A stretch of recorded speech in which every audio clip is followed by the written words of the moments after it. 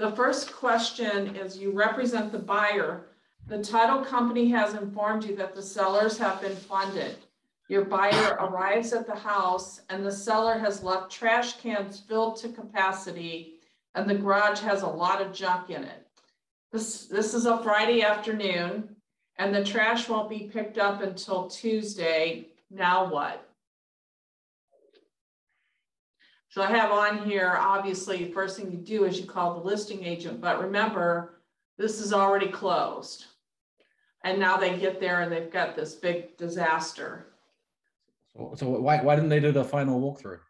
They did, and they were still moving out. They did oh. it the day before, and they were still moving out. Hmm. So I, I'm gonna tell you, in my career, I have helped people move out. I've helped buyers move trash out. I, you know, it's one of those things. Corey, you probably have been in that situation also. Um, I, are you there, Corey? Yes, I was muted. Sorry. Yep, have been there. Yep. Yep. What did what did you end up doing? Oh gosh, I've I've showed up. Um, I mean, if it was one of those things, uh, one of them was where the uh, seller had they were already out of state. There wasn't anything the other agent could do. But I, I've just showed up and picked up stuff. Brought a truck and trailer. I've hired some guys um, and made sure things were presentable, either for my seller or for my buyer. Uh, Smooth it over, make it make it work. While we're on this topic, according to the sales contract, how many days can you do a final walkthrough? For up to how many days? The answer is four. And it's always one of those one of those toss-up questions. If I do it four days in advance, I can get my final walkthrough notice and list all these things. Or if I wait the day before, maybe there won't be as much, as many things to write down. So the contract says, how many, how many walkthroughs are you entitled to? One. However, in this situation, because this was kind of a, this, this really did happen, this was kind of a hoarder house. The buyer agent probably should have wrote in the special agreements that this, the buyer would have two walkthroughs instead of one to help make sure everything was completed. So on that walkthrough, you do, you discover things. Um, how who can go back on the walkthrough? Anybody want to answer that? So the people that can go back can go along with you on the walkthrough are obviously the buyers, the buyer's agent, and also any any co contractors or any inspectors that went through originally during your 10 day inspection period. So any of those folks can come back and check. And sometimes you need to do that, especially if it's the HVAC system or there was electrical issues and things like that. You definitely want to bring them along. And they they might charge you a little extra to come back, but to me, it would be worth it. Okay, so number two, let me try, I'm doing this on my own, so here we go. Okay, you represent the buyer. The seller has moved out of the house. The buyer requested to move items into the garage prior to closing. What form should you use? Well, the answer's there. So there are two, there's two forms. There's one possession by the buyer prior to closing, and then there's a limited purpose entry by buyer prior to closing. I strongly don't, I really don't like either one of those forms because it can turn into a disaster. And in this situation, we are the buyers. There's a three car garage and the sellers have moved out. Our buyers are selling their house. They wanted to move a lot of their things into this three car garage with the seller's permission. But here's what happened. The seller's daughter came home from college and parks her car in the middle bay of the three car garage, limiting the access to the entire garage, which what are you going to do about it? You know, there, there's words exchanged, there's emails flying back and forth, but to enforce it is difficult. And the other thing is, if you ever do something like that, if you allow your seller to uh, have the buyer move things in the garage, you always want to make sure that all the doors are locked going into the house, including like the, the door in the garage to go into the house. You want to make sure those are all locked and your buyer would need to purchase um, renter's insurance on their items they have in the garage. And if you if you take a few minutes later on and look at those forms, the very top of the form, it'll say we it's not recommended you do these things because it always ends up in a I, I kind of thought this was going to work out fine because the sellers had already moved out, but it turned into a disaster. We, when we were selling our house in St. Peters, we had a, um, we had a potential buyer. We, we were caught up with her for like two months. She was trying to sell her house and Mhm. she was having the the people on her end were having issues getting financed, but she wanted to go ahead and start putting some of her stuff in our garage, but she didn't have financing yet, and we said no way. And then she Good wound up never she wound up never getting financing, and I I had just happened to watch something on the news or something where where squatters had that's how squatters had taken over someone's house by just putting their stuff Yeah. in there. So What, and in this case, what if, what if something, what if something really did happen and the buyer couldn't close? And now they got all that junk in there. How do you, what are you gonna do? You're gonna, um, take it all out and put it in the driveway or, you know, Hey, Kristen, hello, hello, hi. Yeah, so, um, I, I don't recommend you do that. What's happening when I click the question, the answer populates too. I don't know why that. Oh, so no, just whenever they did it, it's, No, it it didn't work that way last week. Okay. Jamie told me something to do, something to do with the beginning and I don't. yeah, it is, it's here. You wanna play it from the beginning? Probably better. That's it. So then While I'm talking to you, it just occurred to me, I didn't remember it from before. I'm gonna take away the questions so you can't see them. which one you on? We're going to number three. We kind of talked about this just slightly. Um, so number three, so let's let's talk about the difference between possession by buyer prior to closing and the limited purpose. So limited purpose could be the basement. Typically, it's the garage. Um, so that that would be the difference. The possession prior to closing would be giving them possession of the entire house before closing, and I really don't like that. So again, I'm gonna, I will ask that you look those two forms over and familiarize yourself. There's also where the seller can have possession after closing as well. Um, again, that's not all, sometimes that's a way to get a deal accepted in this, in this market, but is what, letting the seller stay, not pay rent for a couple months in order to get your offer accepted. So that, that does happen. Ready? Yep.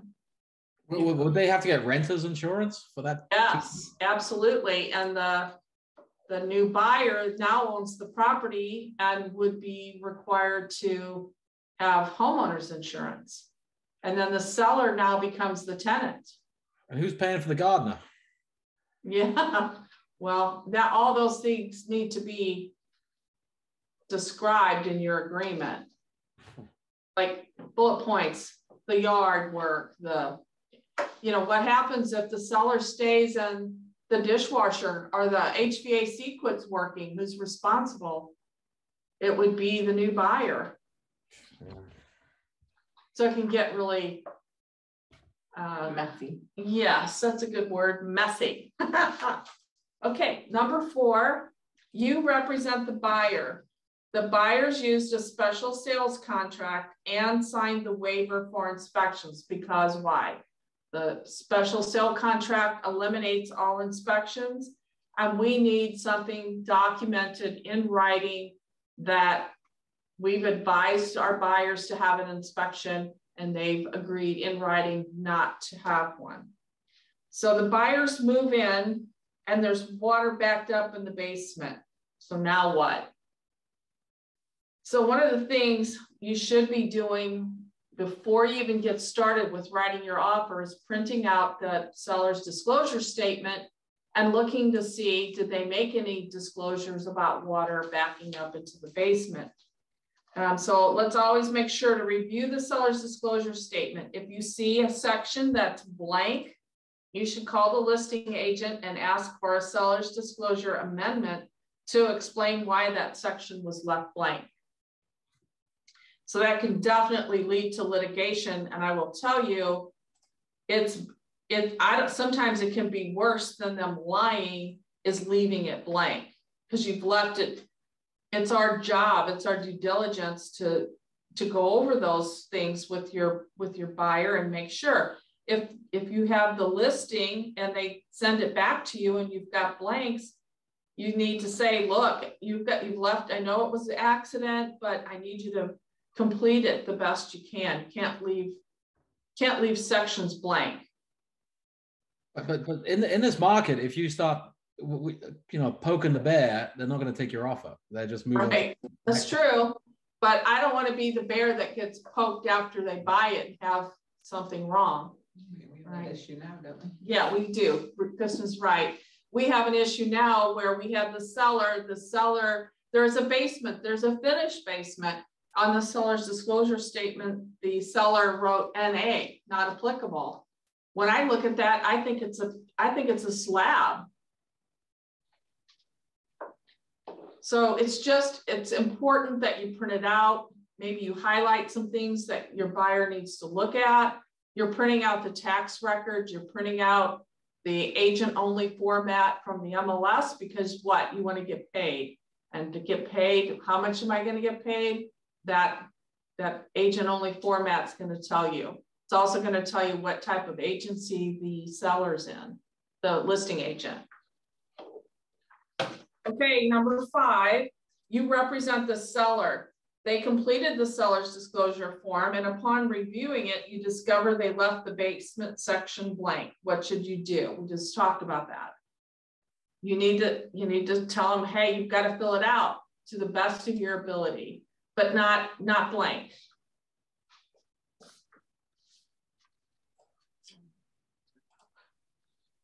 Okay, so you represent the buyer. There's a propane tank buried on the property. Who pays for the remaining portion of the propane gas and how is it determined? The, the buyer pays for it. That's right. And how do you determine how much is left in there. You have to get it um, tested or, you know, however you look yes. at propane. And so how much is the buyer going to pay for that propane gas that's left? Market market rate, whatever propane is. That's right. Ding, ding, ding. You've got them all. Yeah. Yes. I, have so I've, never, not, I've never been to a house with propane. I wouldn't even know what it looked like. So. Well, yeah. So it, you know, maybe it's a propane tank and they only use, you know, one tank a year. It doesn't, it's not what they paid for it, it's what the current market value is. So it's like if we bought gasoline three months ago for three dollars and today it's five, they're gonna pay five. Doesn't it still need to be in the contract then? It's in there. Is it? Yep. Mm -hmm. Should you be concerned who owns the propane tank since it's buried in the ground?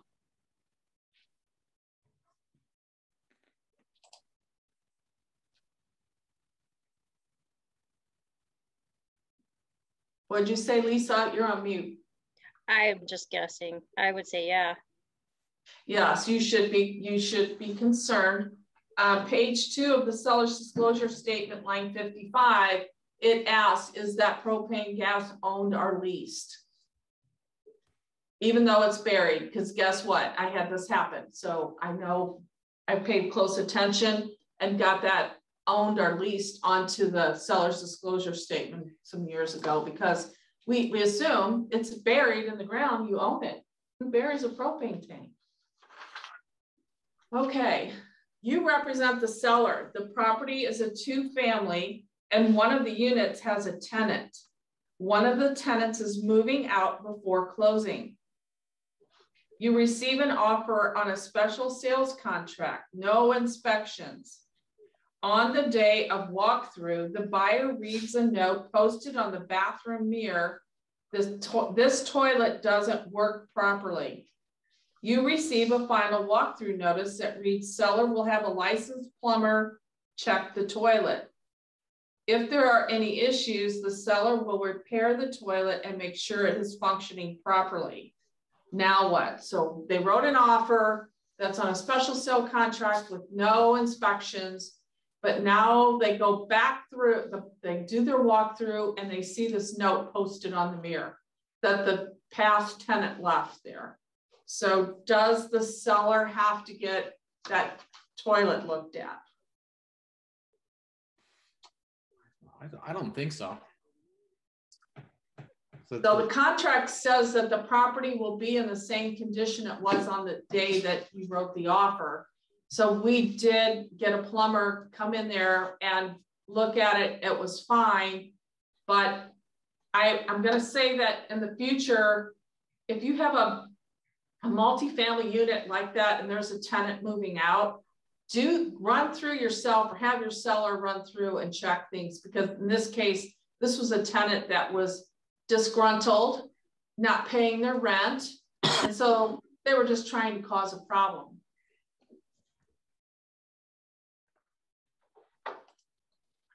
Okay, any questions about that?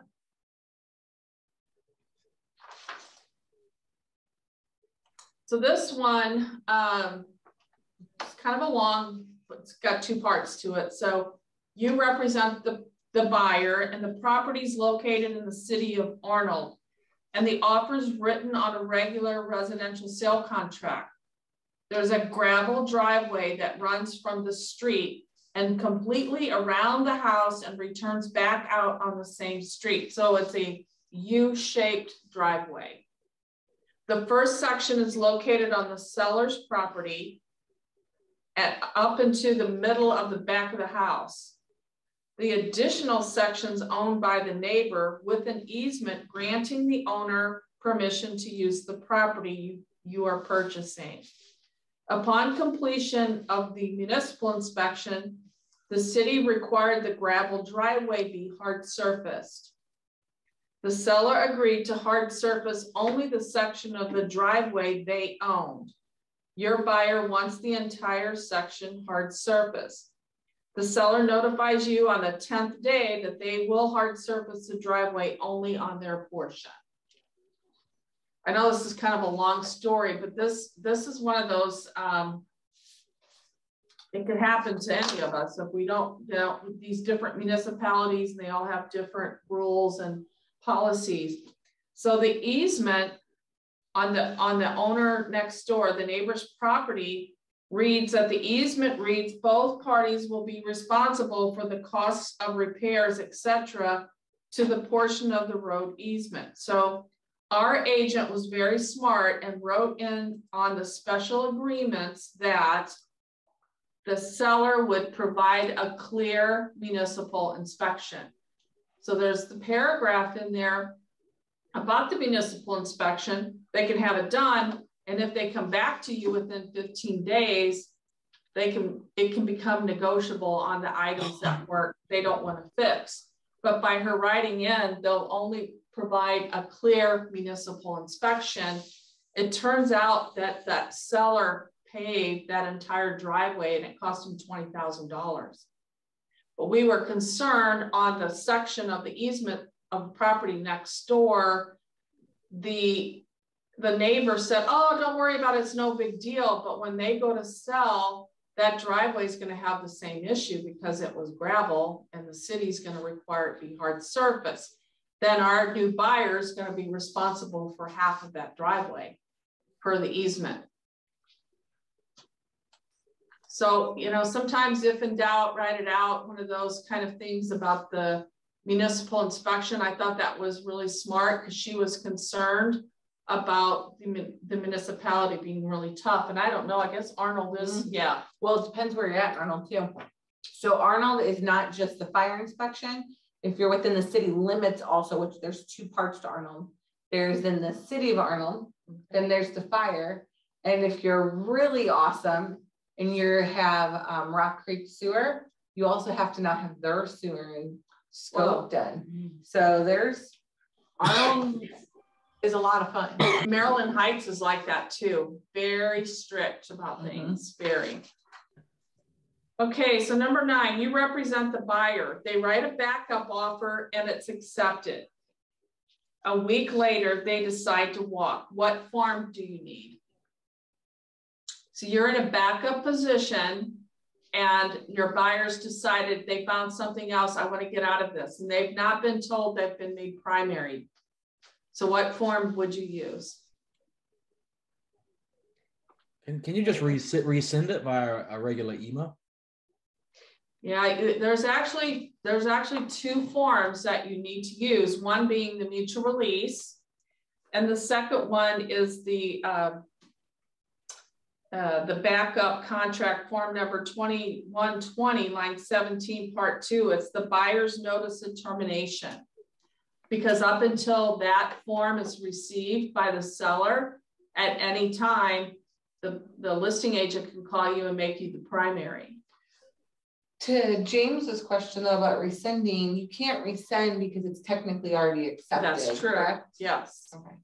So, so, so Yeah. I have a, a follow-on question about the rescinding. That offer that I got accepted, that they counter offered, they we had like a three-hour window, and about one and three quarter hours in, the other the um, seller's agent, the listing agent, called up and said, "Hey, if your people don't sign it, I'm going to rescind it." Could he have done that? Yeah, Yep, because it wasn't accepted by all parties yet. I hear agents all the time running around saying, Ooh, I got an offer, I got an offer. And my first question is, what's your acceptance deadline date time? Well, we, we have until noon tomorrow. You really don't, because up until that time, that listing agent can call you and go, we're, we're, we're out. Or the buyer's agent can call you and say, we're walking, we're, we're rescinding our offer. I worked for an agent Mhm. and the wife had signed and accepted it, but the husband couldn't get to it. And in between there, the buyers rescinded. It's not accepted till both, all parties Yep. accept. Yep. And, and it, And does it people ever, get mad. yeah, does it ever get ugly when people say, "Hey, but I had I had a Oh my God. That Oh, one did. Yeah, and I, I would advise you that when you're gonna pull that, you're gonna rescind your offer.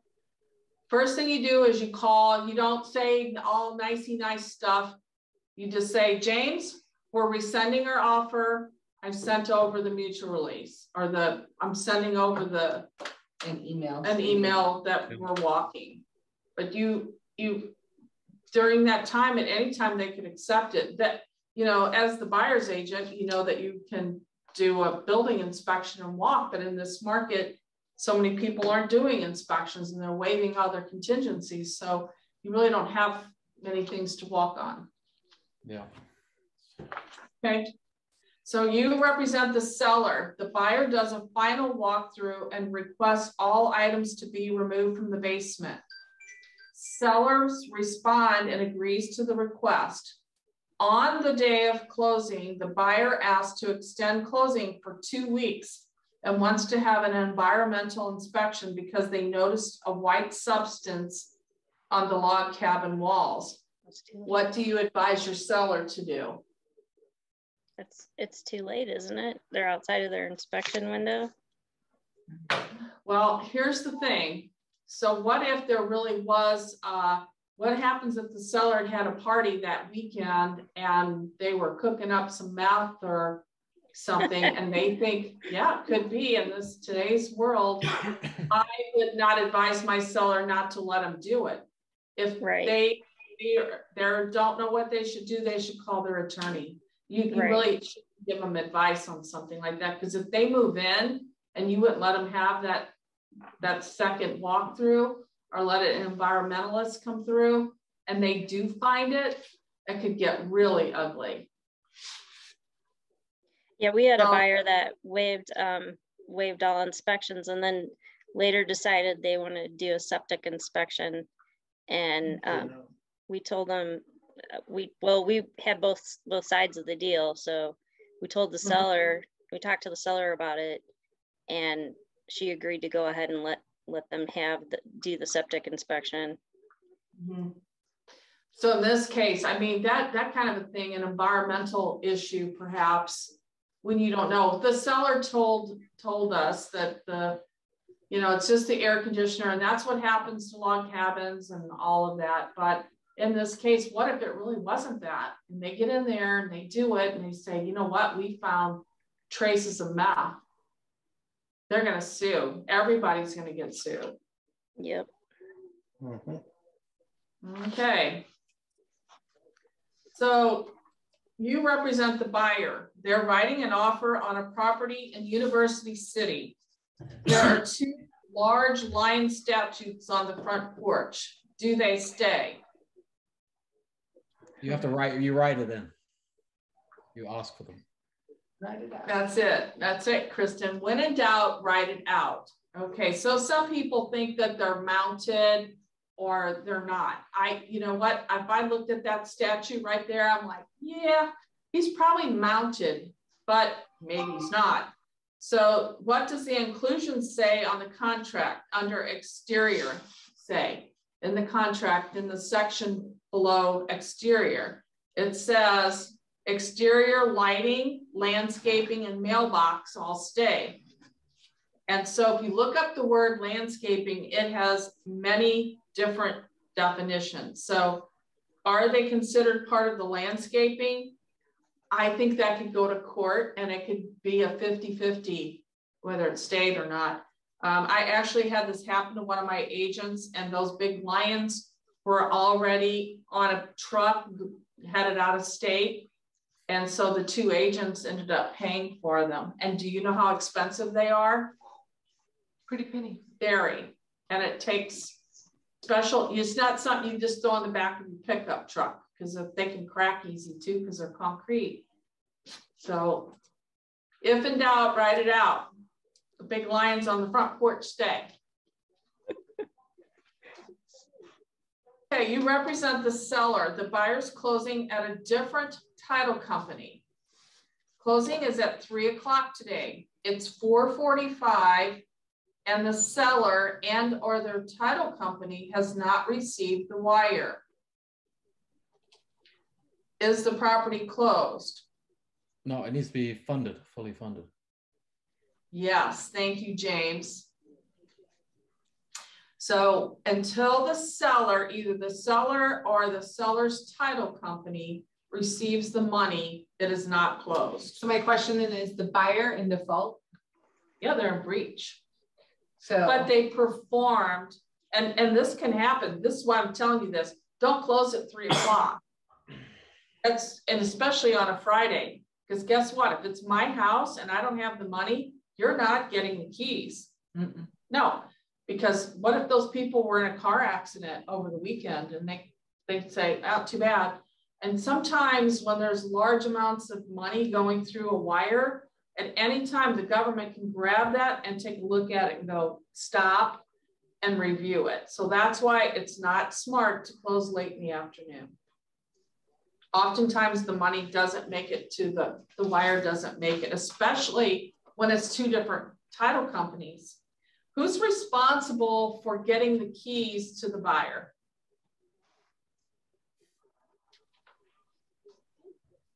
See the agent representing the buyer. Right. The buyer's agent. No, the, the seller, the, the seller's responsible to get the keys to the buyer. Either they make arrangements for where they're at at the house, but this is what, and you could be closing in Arnold and uh, they live, they're moving, they bought a house in Chesterfield. That person has to get them the keys. It's not, it's not the buyer's agent responsibility, it's the seller. Okay, we're gonna go to number 13. You represent the buyer. You receive a call from the title company that the seller is out of the country and has not supplied a seller's tax ID or green card. Should you be concerned? Yes, I see Lisa going, yes. There's a paragraph in the contract called FIRTA, F-I-R-T-A. It's just like three lines, three sentences. I need you to read it over, make sure you understand it. Title companies aren't going to be responsible. So if that seller leaves the country and it closes and they owe taxes, the buyer just inherited that, that Ugh. tax debt.